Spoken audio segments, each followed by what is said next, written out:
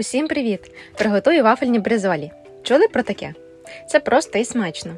В магазинах можна знайти ось такі шестикутні невеликі вафлі. Вони бувають пшеничні та житні. Я візьму пшеничні. Тепер переправлю начинку для бризоль.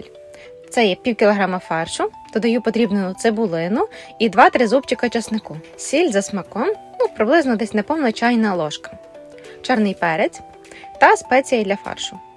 Хто дивиться мене давніше, знає, що це мої улюблені спеції. Посилання на них залишу під відео, як завжди. Трішки води для соковитості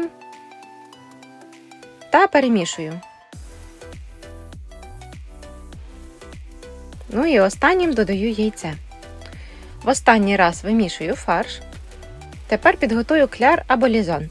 До речі, як ви це називаєте? Поділіться, будь ласка, під відео. Розбиваю два яйця, приправляю перцем та сіллю до смаку. І прованськими травами. Добре перемішую. Формую вафельні бризолі. На одну вафлю накладаю приблизно столову ложку фаршу, рівномірно розподіляю, зверху накриваю іншою вафлею та злегка притискаю. Якщо начинка трішки вирізла, залишки забираю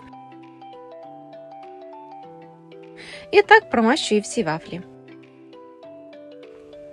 Стільки бризоль вийшло з однієї упаковки. Приступаю тепер до обсмажування.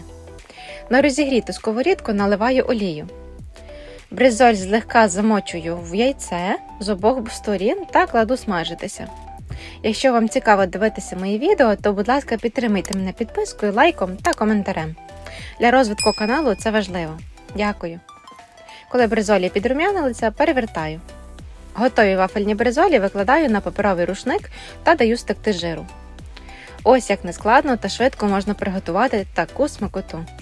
Бризолі підходять е, як для закуски для вечора з переглядом фільму, так і для будь-якого гарніру картоплі, макарону, гороху. Це незвичайно, але дуже смачно. Подивіться на цей колір, а запах я вам не можу передати. Ідеально смакує е, з різними соусами і напитками. Дуже ніжні та насичені на смак. Готуйте та діліться враженнями. Смачного!